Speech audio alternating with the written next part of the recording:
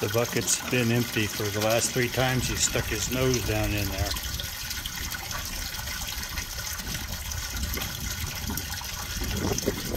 there.